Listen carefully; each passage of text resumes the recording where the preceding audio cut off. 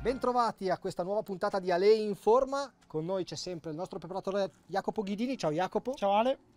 E oggi andremo a vedere come migliorare, come potenziare sia le gambe che il solito core che a noi piace continuare a migliorare. Ok, sì, nella ripartenza l'attività fisica, quindi nel riapprocciarsi, è fondamentale, come dicevamo l'altra volta, un potenziamento muscolare e ovviamente le gambe è fondamentale allenarle. Primo esercizio per principianti che comunque coinvolge una muscolatura importante che sono i quadricipiti, si chiama wall sit. Ale si siede contro il muro, quindi trovate una superficie stabile. La cosa importante è che tutti gli angoli all'anca, al ginocchio e alla caviglia siano a 90 gradi, quindi in questo caso Ale deve scivolare appena appena verso il basso e spingere le ginocchia leggermente verso l'esterno, quindi il ginocchio deve essere allineato sopra la caviglia. Con la parte alta deve rimanere rilassato, deve semplicemente respirare. La cosa importante è spingere con tutta la pianta del piede.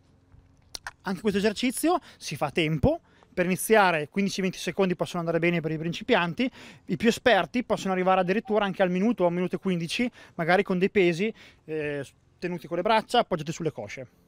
Dopo un esercizio statico, Jacopo, ne facciamo uno dove c'è un po' più di movimento, ma fondamentale. Esattamente, è lo squat, un esercizio importantissimo nel potenziamento muscolare. Cercheremo di vederlo abbastanza rapidamente e selezionare quegli errori tipici da escludere e che non vanno fatti. Perfetto, la posizione è giusta, mi raccomando, i piedi devono essere leggermente più larghi delle anche, la punta leggermente verso l'esterno, ma dipende molto anche dalla vostra conformazione fisica, quindi ci sarà chi apre molto, chi invece sta un po' più stretto. Quando fate uno squat dovete essere comodi, mi raccomando. Fai vedere l'esercizio Ale, bravo, la discesa è lenta e controllata e si risale. La discesa è lenta, la salita può essere leggermente più veloce. Bravo Ale, fanne vedere un altro. Ottimo.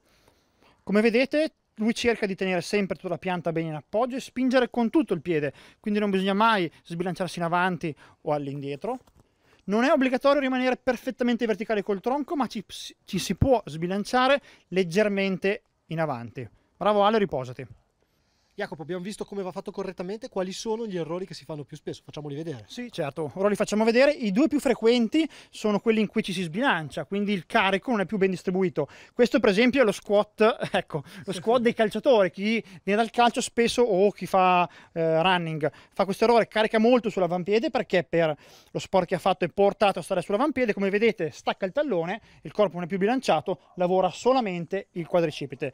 L'altro errore è il contrario, quindi il carico che va all'indietro. In questo caso... Il... perdo anche l'equilibrio. eh, perché sei troppo bravo a farlo, quindi quando devi fare quello sbagliato non ti viene. Perfetto, in questo caso lui mette molto carico sul tallone, si sbilancia all'indietro, questa variante è pericolosa perché si sovraccarica molto la colonna. Pri nel primo errore sovraccarico le ginocchia, qui la colonna, quindi lo squat ragazzi non sottovalutatelo, fatevi seguire magari nel primo approccio.